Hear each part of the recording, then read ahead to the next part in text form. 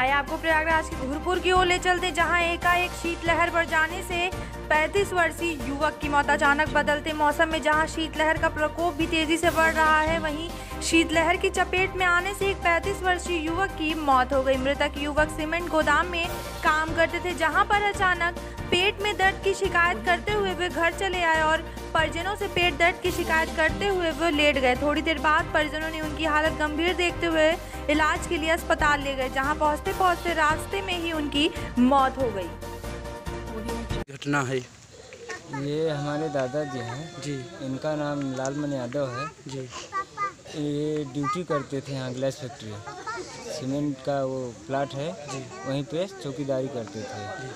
तो सुबह में आए थे आगे चले गए फिर से रोड पे। खाना मीना खा के तो वहाँ से फिर वापस आए। आए तो यहाँ नहीं आए बल्कि वहाँ भी मेरा घर है इसके आगे। तो वहाँ गए।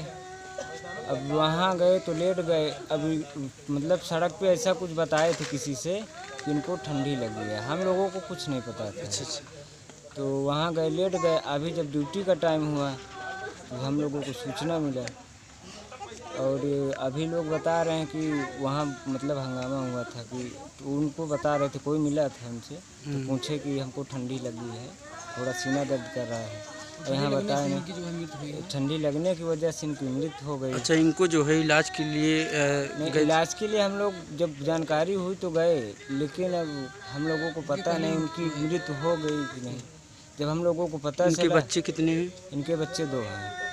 अच्छा, आपका नाम? मेरा नाम कुलदीप यादव कौन सा गाँव है?